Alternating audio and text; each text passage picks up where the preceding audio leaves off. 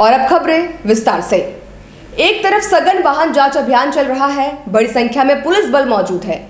और दूसरी तरफ़ महज 20 कदम की दूरी पर एक उचक्का महिला के गले से चेन छीनकर फरार हो जाता है। या यूँ कहा जाए कि पुलिस के नाक के नीचे अपराधी घटना को अंजाम दे रहे हैं। घटना आदित्यपुर मुख्य सड़क की है। आशियाना ट्रेड सेंटर के पास पाँच जवान सहित अन्य वाहन जाँच अभियान चल रहा था। और कुछ ही दूरी पर एक बाइक पर सवार तीन उचक्कों ने घटना को अंजाम दिया और फरार हो गए।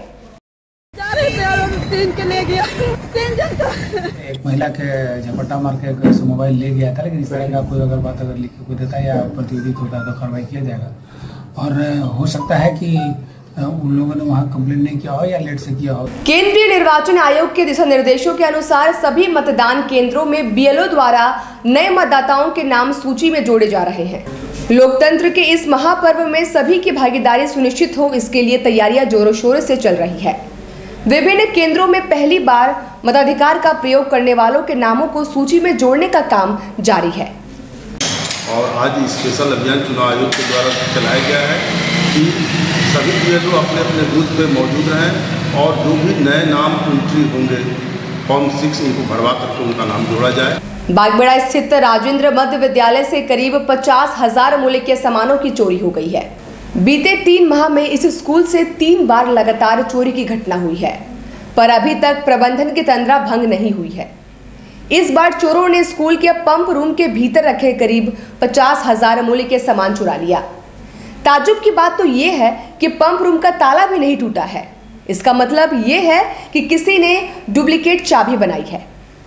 के अंदर जैसे हम खोल के अंदर घुसे हैं ना देख रहे हैं स्टेबलाइजर नहीं है जिसको ऑन करते हैं मैं अपने हाथ से ऑन करते हैं। ऑन करते हैं तो इसमें पानी चढ़ने लग जाता है। तो ये लोग देखिए तार कटा हुआ है कनेक्शन निकाल के फ्यूज का ऊपर रखा हुआ है आप लोग भी देख लीजिएगा और ताला तो उसी में रहेगा ना। हाँ नहीं तो खुला हुआ ताला नहीं है बंद है। नहीं नहीं हम तो खोले हैं? ताला तो तो कहाँ खोले हैं हम तो। चाबी तो स्कूल में है लेकिन वो अब अच्छा। क्या बोले? मुझे लगता है कि कोई डुप्लीकेट बना लिया। आई एम नॉट श्योर ये जाँच के विषय है। आरएफओ द्वारा युवक के साथ कथित तौर पर धक्का मुक्की के विरोध में मानगो स्थित वन विभाग कार्यालय में जमकर हंगामा हुआ।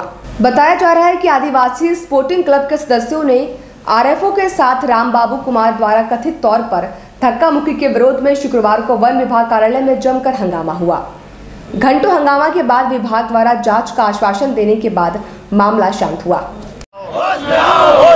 राम बाबू कुमार होश में आओ। होश में आओ होश में आओ। राम बाबू की गुंडागिर्दी नहीं चलेगी। नहीं चलेगी नहीं चलेगी। राम बाबू की गुंडागिर्दी नहीं चलेगी। नहीं चलेगी नहीं चलेगी। राम बाबू की गुंडागिर्दी नहीं चलेगी। नहीं चलेगी नहीं चलेगी। राम बाबू करके तो यहाँ क्या है? प्रशासन मुर्दाबाद। मुर्दाबाद मुर्दाबाद। प्रशासन की ज़्यादा मत करो बोल रहे हमारे रहते हुए ज़्यादा काबिल मत बनो। ठीक है लेंगे। आचार संहिता लगा हुआ है किसी तरह का धरना प्रदर्शन नहीं होगा। तो मेरे तरफ़ से समझाया गया है ये लोग मान गए हैं और यहाँ से ये लोग चल रहे हैं। कि आज जो है यहाँ मानगो में जो वन विभाग का कार्यालय है यहाँ पर हमने एक आमंत्रण देने के लिए आए थे जो 31 तारीख को गोड़गोड़ा में एक महामिलन समारोह का प्रोग्राम है, उसी का आमंत्रण देने के लिए आए थे। जैसे ही कार्यालय में हम पहुँचे, यहाँ पर जो है, ये राम बाबू कुमार जो है, ये खड़े थे और ये हमको अपना परिचय पूछे, हम परिचय दिए और हम बताए कि भाई एक आमंत्रण देने के लिए आए हैं। और दिनेश चंद्रा के नाम से आमंत्रण है, उसको देना है। और तो उन्होंने बोला कि यहाँ आप अंदर नहीं जा सकते हैं। हाँ यहाँ दिनेश चंद्रा का ऑफ़िस यहाँ नहीं है। तो हम बोले, यहाँ वन विभाग का ऑफ़िस है, यहाँ और जान सभी लोग हमको बताए कि यहाँ जो ट्यूटोरियल का ऑफ़िस है, हम ऑफ़िस में ही काट छोड़ के हम जाना चाह रहे हैं। तो ये अंदर जाने ही नहीं दिया, हम जाने का प्रयास किए थे तो ठेल के इन्होंने बाहर धकेल दिया और गाली गलौज करने लगे। जिला पुलिस द्वारा अंतर्राज्यीय वाहन चोर गिरोह के तीन सदस्यों को पकड़ते हुए चोरी के सात वाहन बरामद किए गए हैं। जिला पुलिस ने अंतर्राज्यीय वाहन चोर गिरोह के तीन सदस्यों को पकड़ते हुए चोरी के सात वाहन बरामद किया है। अब तक पुलिस ने चोरी के 48 दो चक्का वाहन बरामद कर लिया है।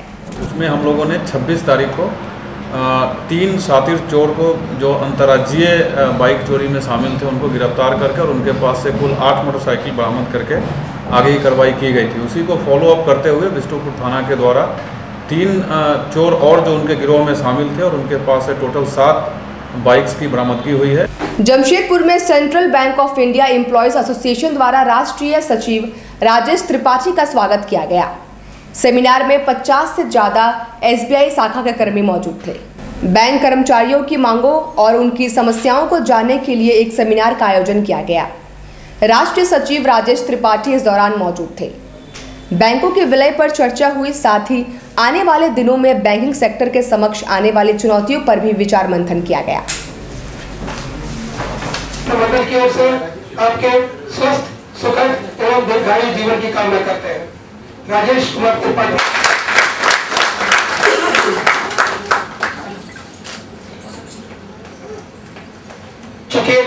ये सेंटर, पूरा जो हमारा सेंटर है, जमशेदपुर सेंटर, जो कि हमारा डिमना रोड से स्टार्ट होकर बहरागोड़ तक जाता है, ये सारे सेंटर के लोग आज यहाँ जमा है, चूँकि हमारे ये एट सर्किल के चीफ सेक्रेटरी जो कि रांची से बिलोंग करते हैं, आज बहुत सौभाग्य की बात है कि हमारे बीच वो हैं, उपस्थित यहाँ और बैंकिंग सेक्टर में क्या क्या चुनौतियाँ हैं और क्या क्या डेवलपमेंट हुए हैं? अभी अहमदाबाद में हमारी मीटिंग हुई थी नौ और दस को।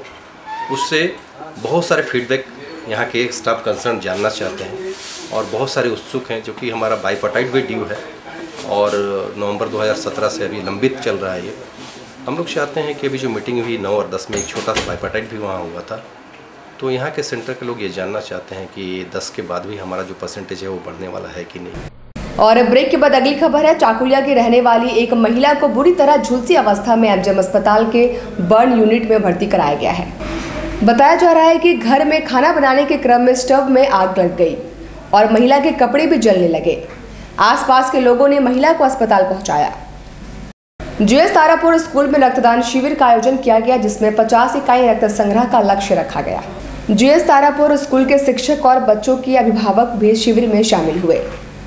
वहीं दूसरी ओर, संकल्प और निर्माण संस्था की ओर से जमशेदपुर ब्लड बैंक में रक्तदान शिविर का आयोजन किया गया। जिसमें 100 इकाई रक्त संग्रह का लक्ष्य रखा गया।